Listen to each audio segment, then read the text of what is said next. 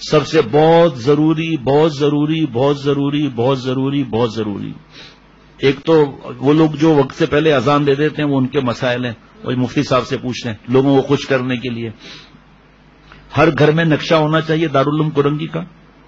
उसमें वक्त लिखा हुआ है, फ़र्ज़ करें एक मिसाल है। इंतहा सेहत चार अड़तालीस लिखा है, एक फ़र्ज़ है, मिसाल बता रहा हूँ मैं। तीन मिनट पहले बंद कर देना है।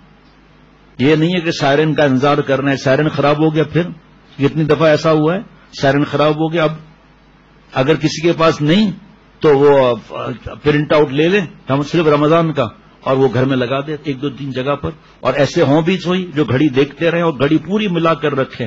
तीन मिनट पहले बंद कर दें, चार मिनट पहले बंद कर दें, मना थोड़ी। और प्यारे शेख फरमा देते, देखो, जब उठते हो तो इस सुन्नत की दुआ पढ़ लो। आँखें मल कर जो अभी दुआ पढ़कर सुनाई ये दुआ पढ़ लो। जब खाना खाओगे, शहरी का तो कुल्ली करोगे? या नहीं? हाथ धोएँगे, मुँह भी धोएँगे। तरीके से वज़ू कर लो, दो रकात ताजुद की पढ़ के अल्लाह से अल्लाह को मांग लो वक्त कम है। तो फरमाया कि तरीके से वज़ू कर लो। वज़ू करके, वक्त कम है, फ़र्ज़ करें, एक मिसाल है। वक्त कम है, दो रकात सिर्फ़ तहजद की पढ़ के अल्लाह से अल्लाह को मांग के सरी खा लें। ये मैंने बताया, कैलेंडर ज़रूर रखें। लोग अदान के अंदर में खाते पीते रहते हैं, हालाँकि वक्त गुजर चुका होता है, उनका रोजा ही नहीं होता। तो क्यामत के दिन खुदा न खास्ता पता चले, तुम्हारे रोज़े तो हुए ही नहीं थे ये। ताजुद के लिए बता दिया। तिलावत कुरान मजीद का अहतमाम तोहफा माह रमज़ान का मुताला करना जो हज़रत वाला के वाज अब दूसरे दूसरे नाम से छपा हुआ है। क्या रोजा और तरक मासीत उसका मुताला करना। नमाज़ बाजमात बल्कि नमाज़ से पहले मस्जिद में मौजूद होने का एहतमाम। शेख का बताया हुआ ज़िक्र, मिसवाक की पाबंदी करना। आप देखें, मिसवाक आप सल्लल्लाहु देखी, आखिरी वक्त था। इशारे से किया, माँ ऐशा सिद्दीका रज़ी अल्लाह तला ने समझ गई।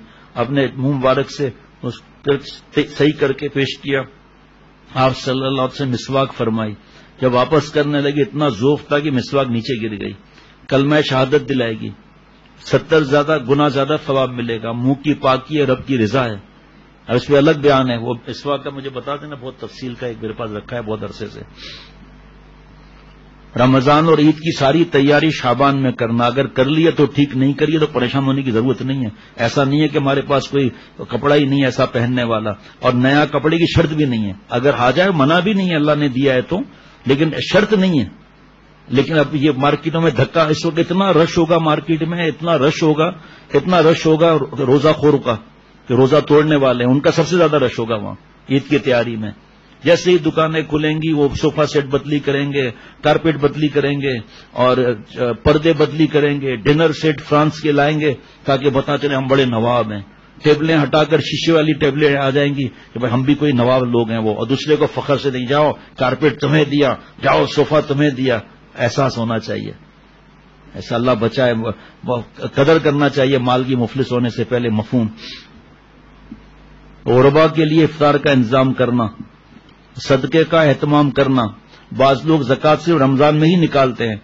हालाँकि जक़ात उस महीने में निकालते हैं जिसमें जक़ात फ़र्ज़ हो। या थोड़ा थोड़ा हो, थोड़ा थोड़ा दे दें, जैसे भी उस पर मेरा इस वक्त मामूल नहीं, अभी बात करने का। गुनाहों का बता दिया, बदनजरी, झूठ रीबत से बचना।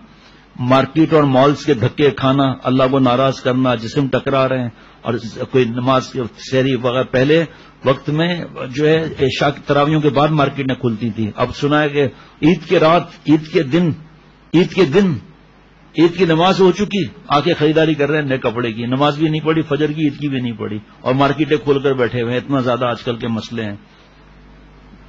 अब इफ्तार के वक्त या घर में शरय पर्दे का फ़िक्र नहीं कर रहे और गुनाह कर रहे हैं। Facebook YouTube social media games वगैरह नावल डाइजेस्ट उससे बचना।